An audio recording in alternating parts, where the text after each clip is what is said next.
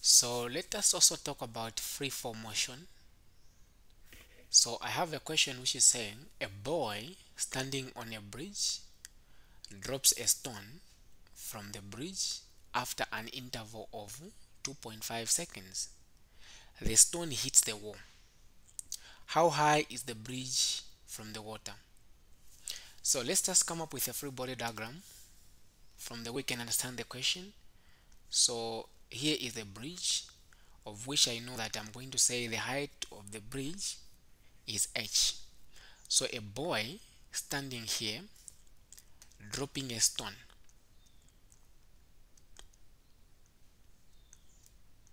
Okay? So this stone will be falling under the influence of gravity.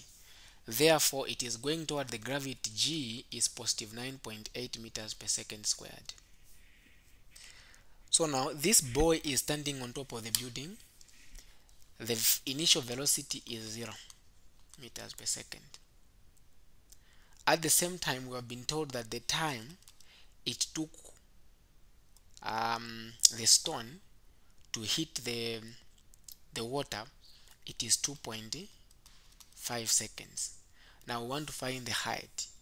So one thing we should know is that we do not know what the final speed is any formula involving final speed eliminate it and we do have three formulas under free fall motion the first formula is v final is equal to the v initial plus gt the second one is uh, the displacement d being equal to v initial times t plus half gt squared.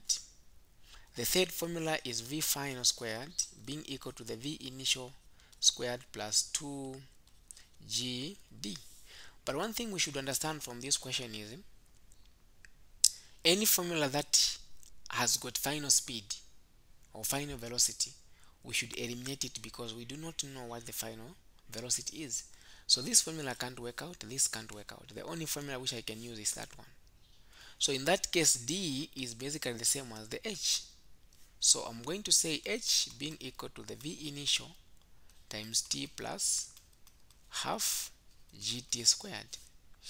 But we do know that the initial speed is 0 so if the initial speed is 0 times anything 0 times 2.5 is basically 0 so this will be cancelled out. And I'll end up having here negative 9.8 or 9.8 not negative then 2.5 i squared.